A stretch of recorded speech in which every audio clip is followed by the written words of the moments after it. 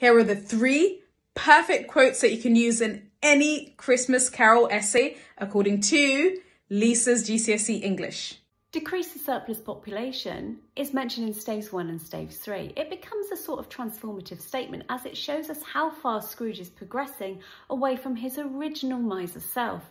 Obviously, this also represents Robert Thomas Malthus, whose views were very much against the poor and believed that the poor were a problem in society. In actual fact, why are we supporting them at all? All they're going to do is produce more children. From stave 2, Belle's metaphor, which employs financial language, unprofitable dream, shows us how Scrooge's inability to connect romantically with somebody shows that he is indeed isolating himself. Stave 2 is all about reflection of Scrooge's childhood and how that has created him as the man that he is today. From stave 5, I am quite a baby symbolises how Scrooge has been reborn. In fact, how we can all be reborn just like Jesus on his birthday, therefore symbolising how God is indeed inside of all of us.